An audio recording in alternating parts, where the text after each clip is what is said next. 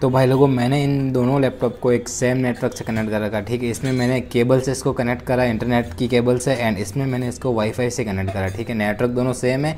अब मैं आपको इसकी स्पीड टेस्ट करके दिखाता हूँ कि भाई दोनों में कितना डिफरेंस है, या फिर कितना फ़र्क पड़ता है। एक तो वायरलेसली एंड जो दूसरा उसमें मैंने केबल से कनेक्ट कर रखा ठीक है? तो देखते हैं इसमें कितनी आपको डाउनलोड स्पीड मिलती है।